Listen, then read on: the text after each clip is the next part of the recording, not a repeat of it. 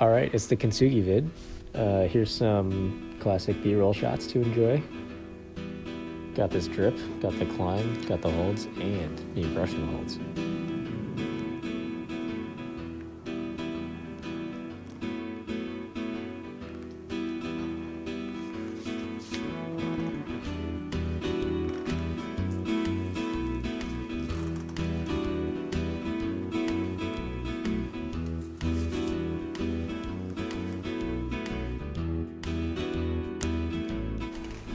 Unfortunately, pretty much only have footage of me working out this first move, um, although it was the only one that felt about the same on a rope as off a rope. Uh, all the other ones were easier off a rope.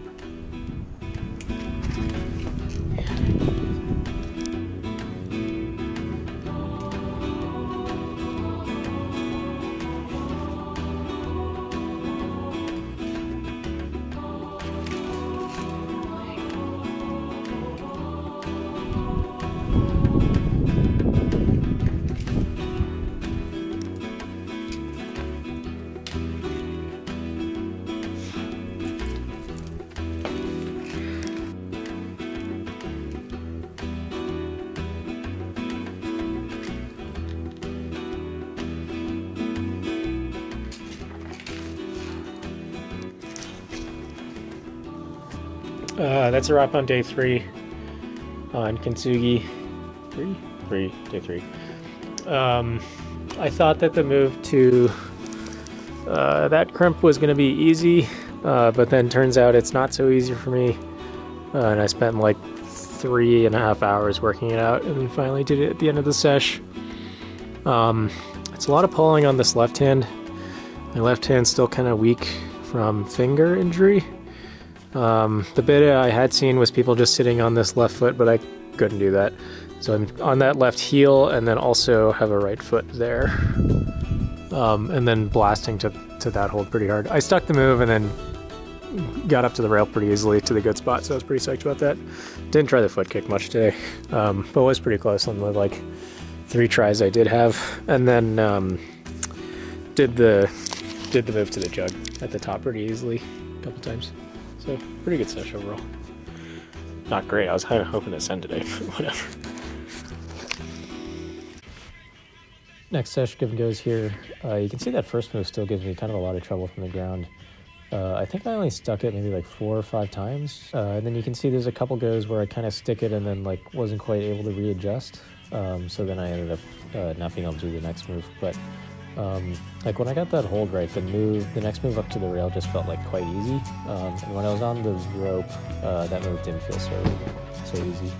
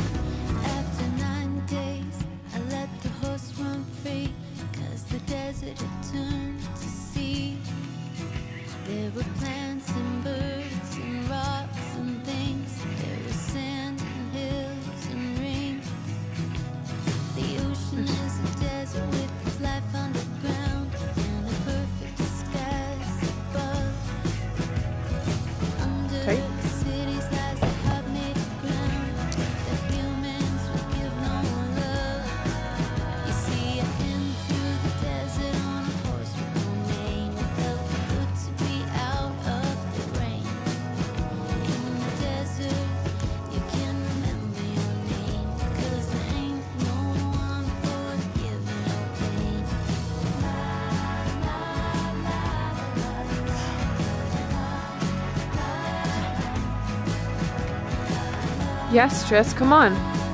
Tight. Oh, yes, dude. Fucking go! Yeah, T, come on. oh! Yes. oh!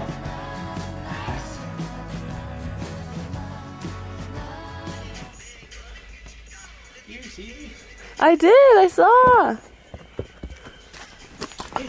He knows. Hey! Nice work. Nice. Crushed.